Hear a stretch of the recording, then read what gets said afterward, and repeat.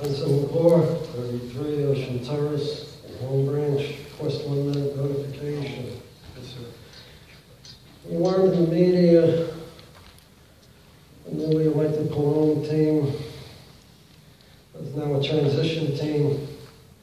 On the transition team is Greg Wallaby, who's noted in the media as one of the 10 most influential people in the state for elections, putting a heavy emphasis on the Pallone team in Long Branch via the operating engineers and stronger foundations.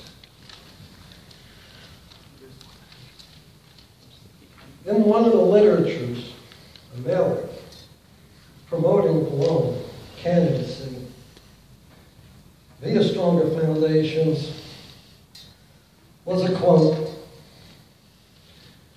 Quote, Schneider's administration even tried to take the homes of residents through eminent domain to help his political cronies.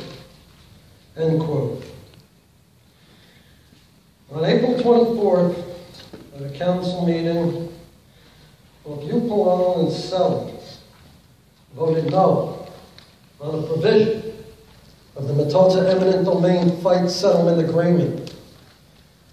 A provision for 42 and 44 Marine Terrace. So your literature and promotion of you states one thing, and your vote is completely opposite. The record shows it's quite hypocritical. Councilman Celli, that night you stated, quote, I'm aware of what the agreement was, but that doesn't mean I have to agree with it. End quote. Less than one and a half years ago, note for the record, Miss Celli just said that's true. Quote. Less than one and a half years ago, both Pallone and Celli approved the very same contract provision for 46 Marine Terrace, the very same provision that they now objected to on April 24th. Ms. Sully, the agreement you were stated that you were aware of and that you didn't have to agree with is R-27209, the consent order settlement. I'm holding it now. R-279 records show, and it's in this document, that a roll call for adoption was moved by you, Ms. Sully. And they recorded yes vote for the approval of this agreement was voted by you, Ms. Sully. At that time, the New Jersey State Public Advocate and the Institute for Justice out of Washington argued on behalf of the victims of this city's eminent domain abuse. They argued for Metosa against the city. Well, Celli and Pallone take note. The shirt is back on. The fight will continue.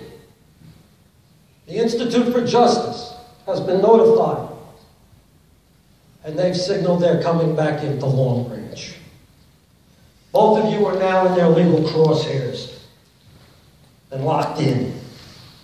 Both of you, Pallone and Celli, you fired the first four bullets on April 24th on that settlement agreement that you, and Celli, agreed to. I can assure you, Before you have one minute, you are both going to be legally obliterated should you and Team Pallone, Team Pallone continue this course. This agreement cost the taxpayers $435,000 that you had to refund to the Metosa people in their fight against your eminent domain abuse. And that's not including the cost to the taxpayers of the litigation city did against them.